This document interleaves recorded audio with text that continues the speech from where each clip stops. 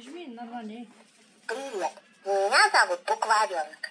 Я помогу тебе выучить все 33 буквы русского алфавита. Нажимай на любую букву. Один, два, три, четыре, пять, шесть, семь, восемь,